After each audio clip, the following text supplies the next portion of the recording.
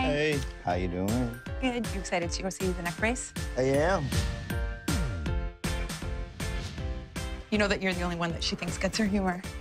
Ann was a fan and now has become one of my best friends. She definitely has the inside scoop on what everybody's up to. You know what you should do?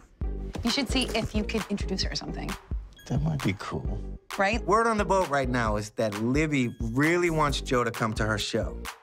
But I'm thinking this isn't gonna happen. I love Libbie, and I just wanna be there to be a part of this special moment for her. I'll do it. You're gonna make like her night. Let's do it. Let's go.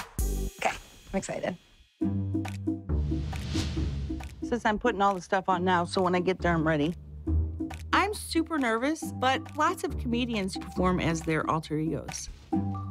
And if tonight is my only shot with Joey Mac, he's better off seeing Aunt Claudette because I can guarantee everybody will be laughing.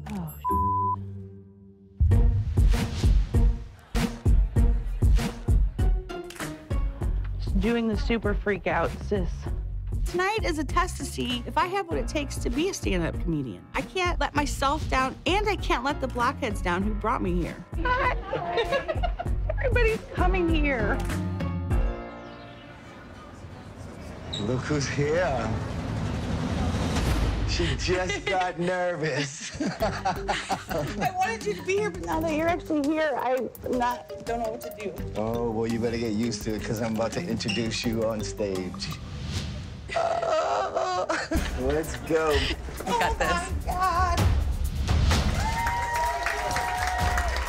Jon Knight is introducing me. Holy, somebody pinch me. Okay. Sis sorry.